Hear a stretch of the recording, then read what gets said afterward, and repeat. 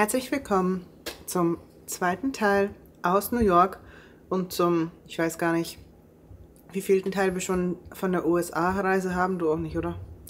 Einiges an Videos, die schon hier auf dem Kanal gelandet sind. Checkt mal die Playlist aus. Ähm, Olympia-Qualifikation 2023. Dann seht ihr die aktuellen Vlogs und könnt von Anfang an anfangen, falls ihr noch eine Unterhaltung braucht für euer Cardio. Ich stehe hier mit meinem heißen Zenit. Das ist kein Saft, sondern das ist unser Metabolism Support, unser Stoffwechselbooster, der wirklich studienbasiert den Kalorienumsatz anhebt, was wir jetzt vielleicht die letzten Tage noch ein bisschen gebrauchen konnten, um den kleinen Rest zwischen den Zahnzwischenräumen bzw. Muskelfasern zwischenräumen wegzubrennen. Ich bin über 5 Kilo leichter als am Wettkampftag in Pittsburgh. Klingt crazy, ist es auch. Hat sich auch dementsprechend auf dem Gemüt bemerkbar gemacht. Wir gehen jetzt ins vorletzte Pump-Training. Zenit wird getrunken. Hier in meinem Shaker ist schon mein Pump Booster vorbereitet. Den kann man sorgenfrei in der Peak Week auch immer noch benutzen. Denkt dran, ein Gramm Salz ist enthalten, dass ihr das vielleicht mit, mit bedenkt. Und richtig cool und richtig schlau ist es, wenn man sich einfach diese Samples holt, weil dann hat man genau eine Portion, muss nichts abwiegen, kann es einfach mitnehmen, auch für den Urlaub, einfach genial. So. Hochlebe Amerika. Wir sehen uns Ah, wir gehen heute ins Powerhouse. In Machen wir das?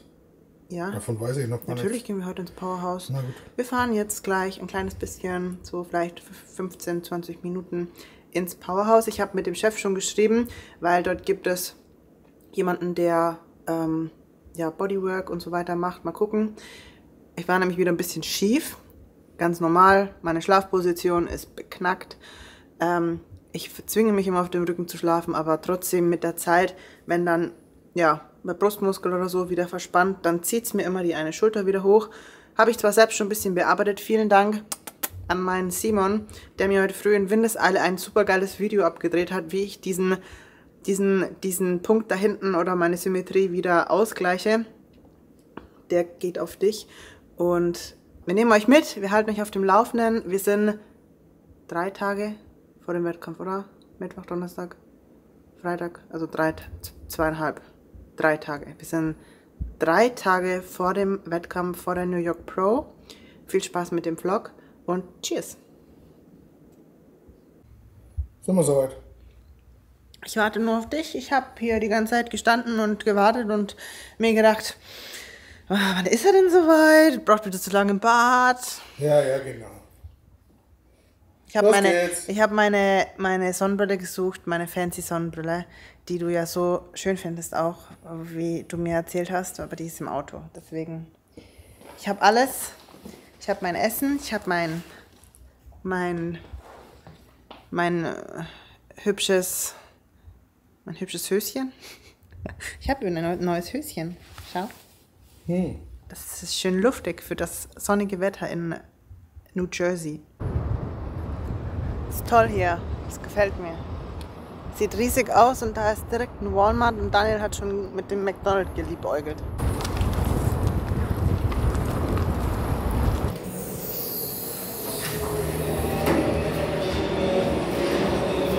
Mal die Heustgeräte an. Ich habe die Heustgeräte gesehen, oh mein Gott. Oh.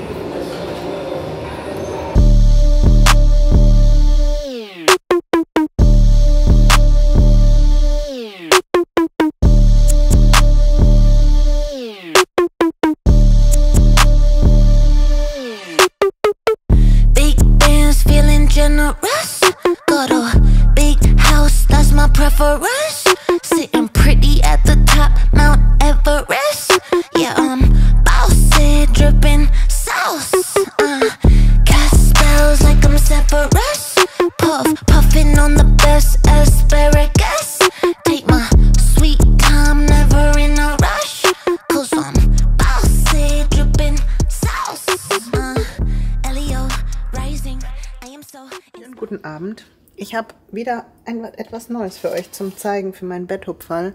Meine Avocado war reif. Deswegen gibt es jetzt Fisch, Chicken, Spinat und Avocado. Und dann geht es ab in die Falle. Morgen ist schon Donnerstag, das heißt der letzte Tag, bevor wieder so wettkampftechnisch was ansteht mit Tanning und Check-in und so weiter. Angenehmer Tag. Wir waren jetzt gerade noch mal einen kurzen Spaziergang machen zu dem äh, einen 7-Eleven-Laden und ich wünsche euch jetzt eine gute Nacht und wir sehen uns morgen. Kleine Anmerkung noch, im Studio war das ein bisschen sehr, sehr strikt. Also die wollten nicht auch wegen bestimmten Berufen, Berufsgruppen, die dort oft trainieren, dass man da nicht so filmt oder die Leute mit auf die Kamera macht. Deswegen haben wir uns da ein bisschen zurückgehalten. Guten Morgen. Keine Ahnung, ob ich meinen Eltern glauben soll oder nicht. Ähm, hier in meinen Genen steckt eigentlich 100% deutsches Blut. Wobei ich mir nicht sicher bin, wenn ich diese durchgekämmten Locken anschaue, die ausschauen wie ein kleiner Affe, wie ein Afro, ob das, ob ich das so glauben soll. Keine Ahnung. Also, ich habe keine Ahnung, was das hier ist. Ich glaube, dafür muss man einen extra Sitzplatz im Flieger buchen. Was sagst du? Hund mit dem Spiel. Daniel sagt, da war ein Hund mit dem Spiel. Deine Mom liebt doch Hunde so, wer weiß, was die gemacht hat. Nee, also ich bin mir nicht so sicher. Ich bin mir wirklich nicht so sicher. So schön Locken auch sind, aber wenn man sie dann durchkämmt und für den nächsten Tag vorbereitet, dann ja, ist das Ganze sehr fragwürdig. Ich wollte euch nur daran teilhaben lassen. Ich mache mir ein bisschen Wasser warm, beziehungsweise Tee. Und dann gibt es nochmal einen, ups, ich war ein bisschen nah, einen Zenit, weil es geht jetzt gleich ins letzte Pump-Training vor der Show. Und ich bin schon ein bisschen am Reis futtern und ja, dementsprechend ist das Gemüt und die Birne auch wieder voll auf Kurs. Deswegen war ich gleich motiviert und habe für drei unserer Athleten, die dann ab Sonntag nach der Show am Samstag in die Improvement, also in die Off-Season starten, schon die Pläne fertig gemacht und schon die Infos und die E-Mails eingestellt, dass die dann am Sonntag direkt rausgehen. Deutsche Uhrzeit, damit die Athleten auch wissen, was zu tun ist. Wir haben gesagt, ich überlasse es euch, beziehungsweise den Klienten selber, ob sie sagen, hey Sonntag einfach mal einen Tag lang nach Gefühl essen oder ob sie sich an ihren Plan halten wollen. Das Ab Montag geht es dann ganz normal weiter. Ich habe mir gedacht, ich bereite das schon mal alles vor. Dann sind die Schäfchen im Trockenen und für den Rest der Meute geht es noch weiter nach Polen auf eine Show. Äh, die starten natürlich dann wieder in ihre Peak Week. Wir fliegen derweil zurück und ich freue mich schon. Bin super gespannt. Samstag ist die NAC Deutsche Meisterschaft und die NPC Regional Show All-Star Classic in Friedberg. Könnt ihr fleißig verfolgen auf Team Zinat, dem äh, ähm, Coaching-Instagram-Account. Und an alle nochmal ein Aufruf, nur dass ihr Bescheid wisst. Ihr könnt immer noch weiterhin bei mir anfragen, bei uns anfragen im Coaching, egal ob ihr es nur für euch selber machen möchtet, ob ihr auf die Bühne möchtet, ob ihr es noch nicht wisst, wie auch immer, über meine Homepage jenniferzinat.com könnt ihr ganz normal über den Kontakt ein Kontaktformular auswählen, euer Ziel eingeben und dann können wir da mal in Kontakt treten und schauen, ob das Ziel oder die Ziele auch realistisch sind, beziehungsweise ja, eine Zusammenarbeit gut funktionieren würde. Wir stehen jetzt wieder vor dem Marriott und ich gehe jetzt ins letzte Pump-Training. Wir sehen uns danach wieder. Wünscht mir Glück. Schickt mich auf eine letzte, auf eine letzte Trainingseinheit. Ich werde nochmal ich werde nochmal alles, alles Blut und Nährstoffe, was zur Verfügung steht, in die Muskeln reinpumpen. Und dann gehen wir noch ein bisschen was einkaufen und dann ist der Job für hier, fürs Training schon erledigt.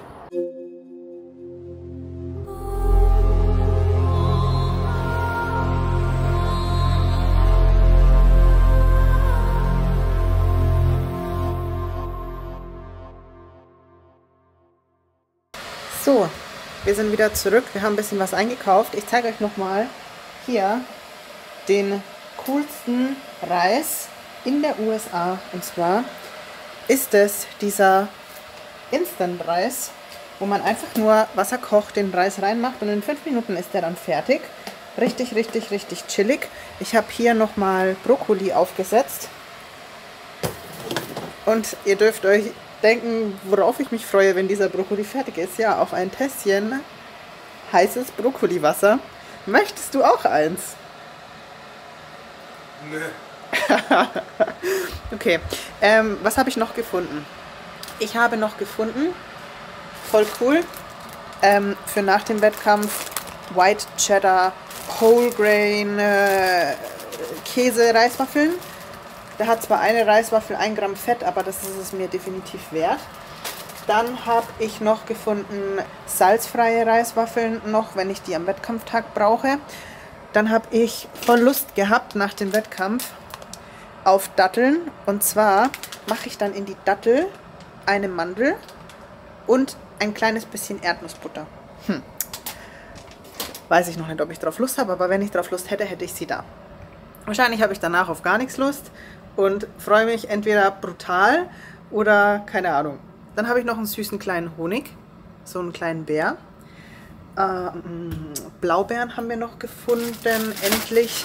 Gefrorene Blaubeeren waren mir dann irgendwie zu viel. Das wäre dann irgendwie eineinhalb Kilo gewesen. Ich mache mir jetzt gerade noch einen Tee.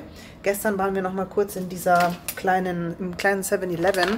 Da habe ich gefunden Skinny Dipped Cashews. Also alles, was mit Nüssen zu tun hat. Alles, was mit, oh, ich weiß gar nicht, so auch getrockneten Früchten. Und, und ich bin mittlerweile totaler Fan von so Karamell geworden. Damit kann man mir eine enorme Freude machen. Dann eines der besten Snickers. Weiße Snickers ist eines der besten Snickers. Alles mit weißer Schokolade ist geil. Und Mandel-Snickers. So, habe ich noch irgendwas vergessen, was ich euch zeigen kann? Nee, sonst habe ich nichts. Hier, genau. Ich habe einen Tilapia gekauft, der war so eklig, dass ich mir jetzt wieder den gefrorenen geholt habe. Ich habe in meinem Leben noch nie so einen ekligen Tilapia gegessen.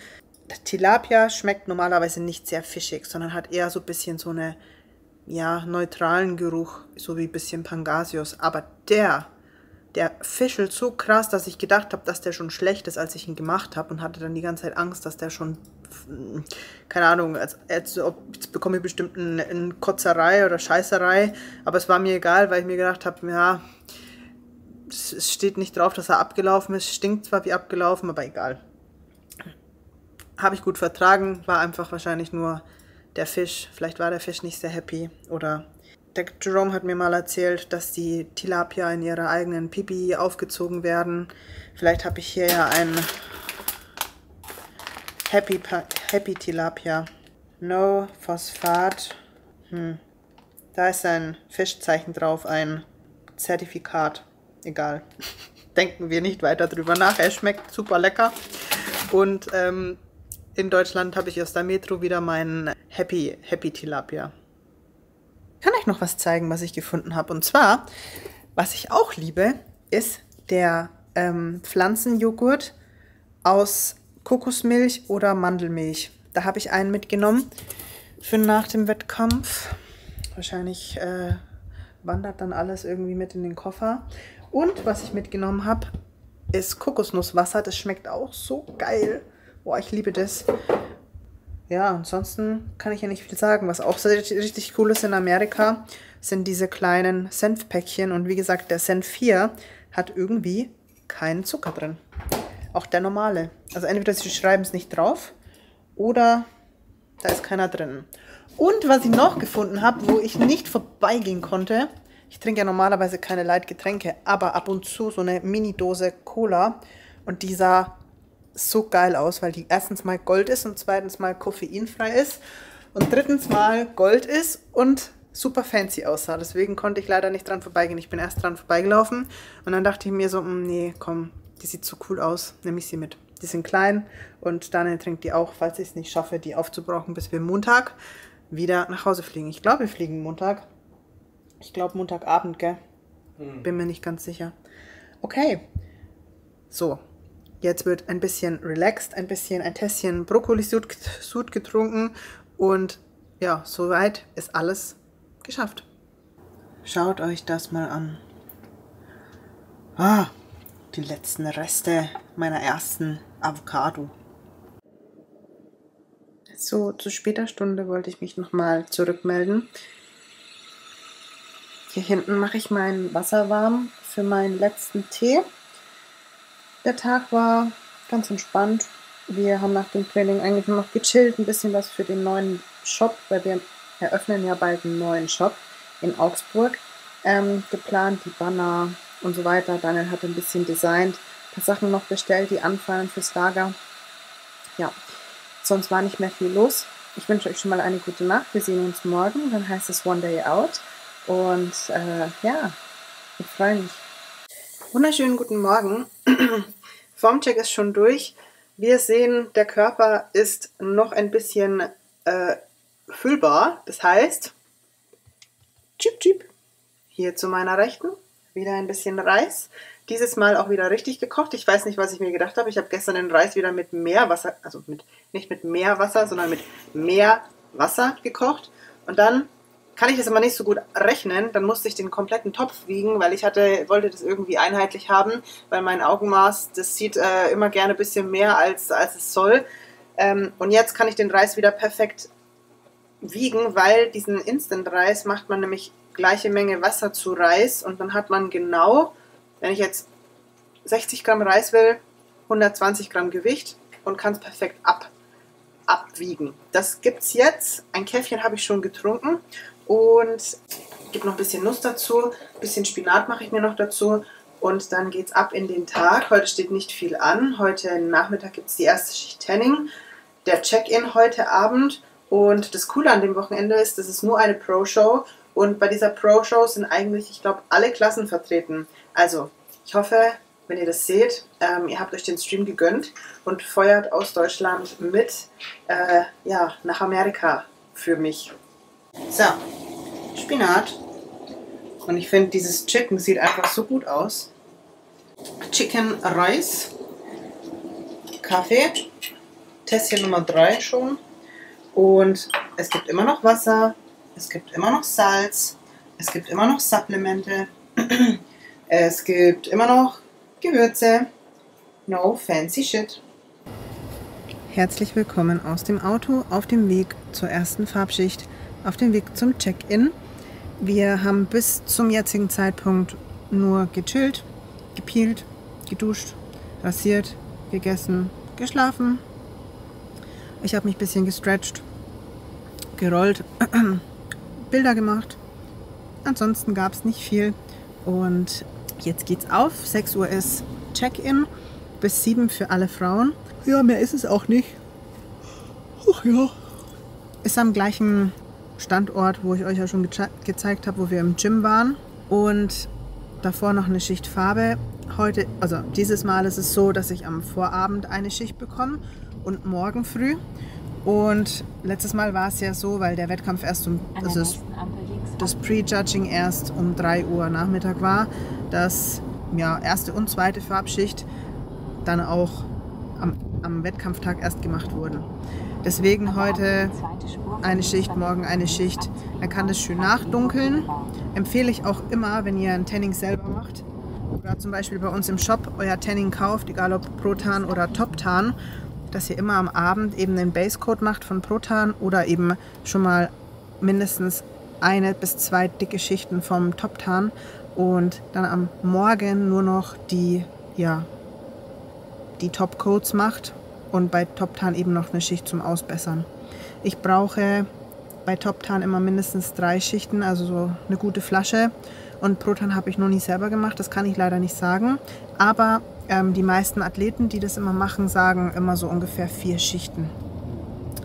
Ja, mal schauen, was wir filmen können, wo es ein paar Einblicke gibt und was für eine Nummer ich heute habe. Keine Ahnung. Wir sind auf jeden Fall, ich glaube, 24 oder 23 Athleten. Das heißt nochmal 10 mehr Mädels als letzte Woche.